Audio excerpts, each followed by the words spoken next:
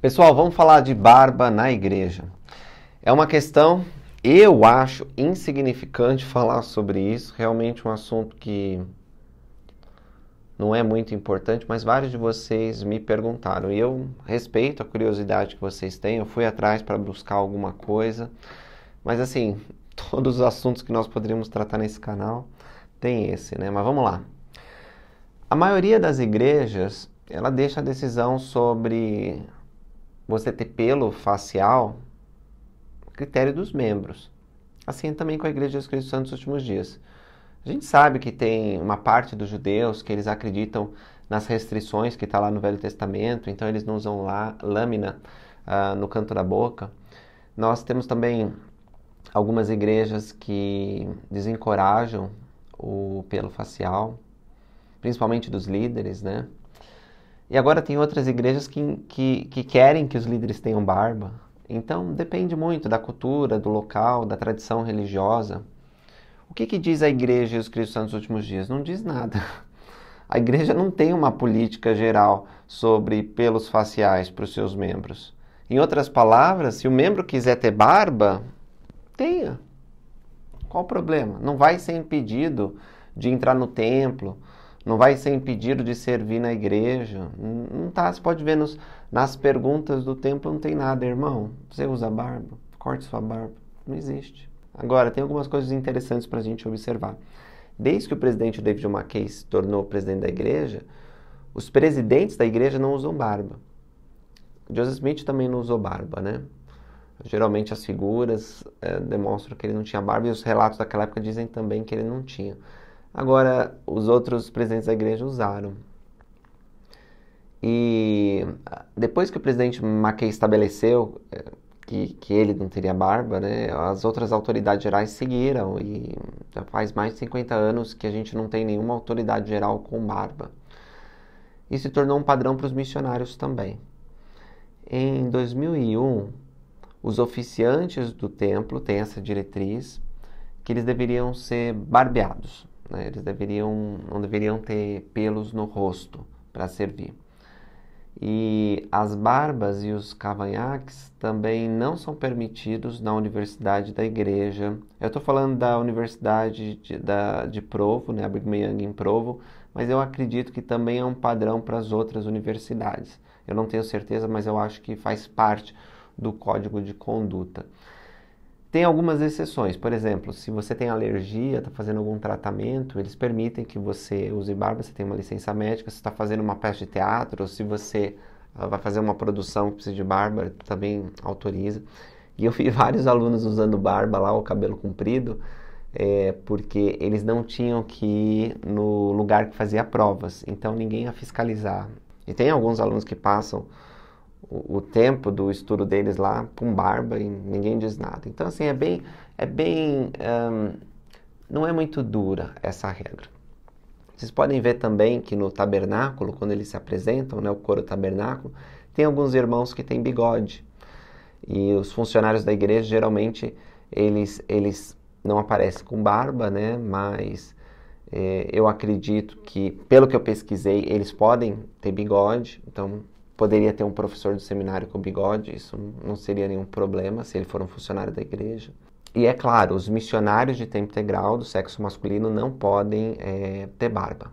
Eu me barbeava todo dia na missão, mesmo que eu não tinha um pelinho sequer, eu estava lá me barbeando para obedecer a regra. Agora, nem sempre foi assim, isso é uma coisa curiosa. Os missionários nas missões europeias, por exemplo, eles tinham que deixar crescer a barba. Lá nos anos de 1900, um presidente de missão ele explicou que os pelos faciais acrescentavam dignidade aos missionários. Já pensou? Elders, nessa missão aqui é regra vocês terem barba. Eu estava perdido se estava naquela missão, porque não tinha barba nenhuma. Tinha que passar um creme aí para crescimento, sei lá como que faz né, para ter barba. Muitos profetas e apóstolos, como eu falei para vocês, também eles usaram barba durante seu serviço na igreja e as barbas talvez mais populares sejam a de Brigham Young, Heber J. Grant e Joseph F. Smith. Mas, como eu disse também, com a presidência uh, de David McKay, a igreja estava se tornando mundial e na década de 60, então, os líderes da igreja passaram a não usar barba. Mas não é apenas por a igreja estar tá crescendo em outros países, se tornando uma organização mundial. Naquela época também começou muitos movimentos nos Estados Unidos que enfatizavam as drogas, a quebrar a lei da castidade.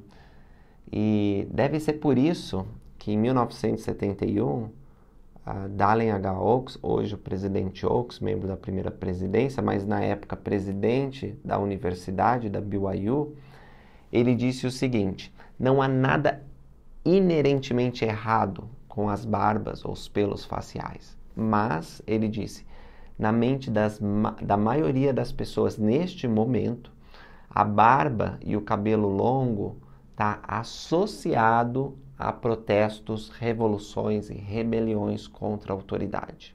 Eles também são símbolos da cultura hippie e das drogas.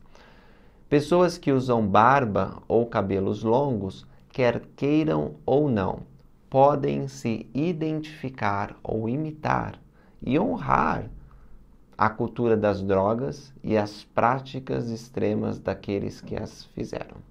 Contudo, o próprio presidente Oaks observou que ele não ia ficar surpreso se a política relativa à barba mudasse no futuro. Esse discurso foi lá 40, 50 anos atrás, né? E como eu falei para vocês, a BYU ela está bem mais branda com relação a isso. Ainda está no código de honra, o código de conduta, mas é, não é uma coisa tão importante lá, sabe?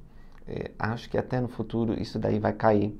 Na revista Ensign, que é uma revista da igreja, de fevereiro de 1993, o presidente do templo de Washington, um dos maiores templos uh, da igreja, chamado David S. King, ele respondeu se existia um padrão de vestimenta e aparência para se frequentar o templo. É bem interessante o artigo dele, mas vou citar apenas uma pequena parte. Os líderes da igreja, reconhecendo que a moda segue ciclos, são sensíveis à rica diversidade cultural dentro da igreja. Por exemplo, eles defenderam recentemente que as barbas limpas, bem aparadas e bem cuidadas e os cabelos longos para os homens, bem como certas, certos outros estilos que para alguns podem parecer na moda, são aceitáveis para o templo, desde que não sejam inerentemente ofensivas ou vulgares. Nos trópicos, disse ele, certos trajes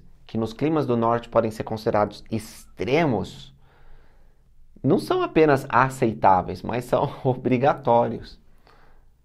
Então, concluiu, devem ser feitas as devidas concessões por causa dessas diferenças culturais. Afinal, a gente não quer ser como os oramitas, né? Desprezar nossos irmãos por causa da roupa, por causa da aparência. Eu já tive numa ala onde o bispo, não estou falando dos conselheiros, estou falando do bispo, ele tinha uma barba, uma barba bem bonita até. Era careca, né? Tinha a barba dele lá. Acho que para compensar a, par, a, falta de cabelo, ele tinha a barba. Mas assim, tinha, já tive em outras alas que os conselheiros tinham bigodes. E, meus irmãos, é, estamos numa igreja mundial, uma igreja global, há diversos tipos de cultura. E não é uma coisa que eu acho que a igreja está tão preocupada com os pelos faciais. Há tantas coisas é, que a igreja a, se preocupa e você pode procurar lá no manual, você não vai achar nenhuma regra relacionada a isso. Agora, se você me perguntar o seguinte, Lucas, um líder local aqui pediu para que eu tirasse barba. E como eu tenho um, chamado de liderança, ele disse: Olha, se você não tirar a barba, você vai ser desobrigado. Irmãos e irmãs, tem diversas situações. Aqui mesmo no Brasil, nós temos uma diversidade regional muito grande e eu acredito plenamente que os líderes, quando eles são chamados, eles recebem autoridade, recebem revelação para agir no ofício que eles foram chamados. Então, se um líder me pedisse, Lucas, tira a barba, não tenho muita, mas eu ia obedecer. Se ele falasse, Lucas, pinta o cabelo, eu ia pintar o cabelo. Se ele falasse, corta o cabelo, ia cortar o cabelo, porque a minha natureza é a natureza de obedecer. Eu vou seguir o líder. Eu posso até ficar questionando o motivo, mas por que, que tá... Mas eu vou obedecer, certo? Então, fica a seu critério, meu irmão. Como, como eu falei para ti, para vocês, isso não está no manual, não é uma regra que está lá. Mas os líderes locais, eles conhecem as circunstâncias, eles podem receber revelação uh, para você. Talvez se você obedecer, mesmo é, pensando, poxa, mas por que está exigindo isso? Isso possa ser uma, uma prova para Deus de que você honra as chaves do sacerdócio e quer obedecer. Mas, olha, eu nunca tive uma situação parecida na minha vida. Eu gosto muito da citação do profeta Joseph Smith que disse assim: ensina princípios corretos e os membros governam a si mesmos. Eu acredito que se todos nós lembrarmos disso, Sião vai florescer muito rapidamente. Os líderes eles podem enfatizar, em vez de um comportamento específico, princípios, princípios de recato, de boa aparência, da importância de seguir Jesus Cristo. E eu lembro que na minha vida foi assim. Eles ensinavam sobre esses princípios. Eles diziam: olha, não faça tatuagem, porque se você fizer tatuagens, um dia você vai se arrepender de tê-las.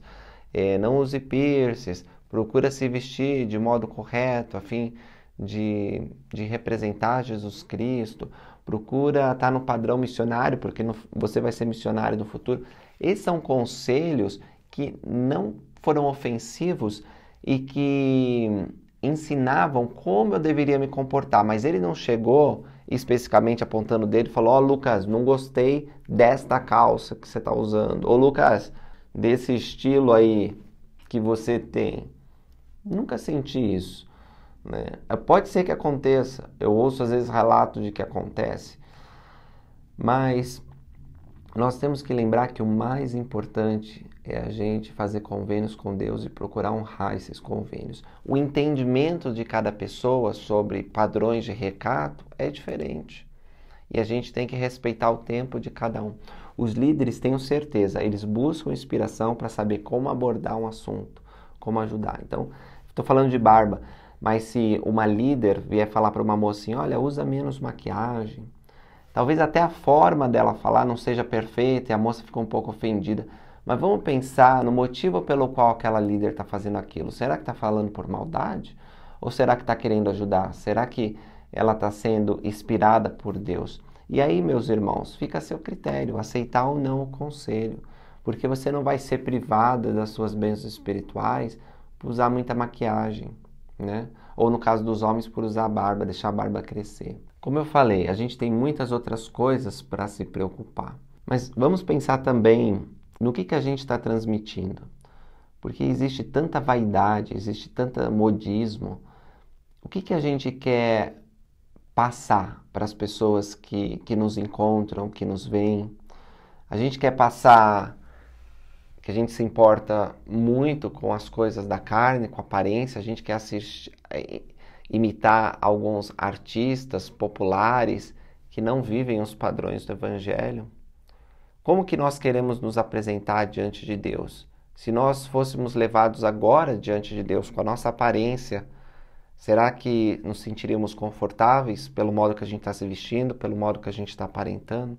Então, cada um pode fazer a reflexão pessoal sobre isso. O fato é que o presidente Nelson, seus conselheiros e os apóstolos não usam barba, os, as autoridades gerais não fazem, então são bons modelos para seguirmos. Mas se você quiser usar, tenho certeza que os profetas eles não vão olhar a tua aparência da barba é, para te recriminar ou para fazer alguma coisa, tá certo? Acho que era isso que eu queria falar sobre essa questão e eu espero que de alguma forma ajude, tá bom? Obrigado, pessoal. Até a próxima.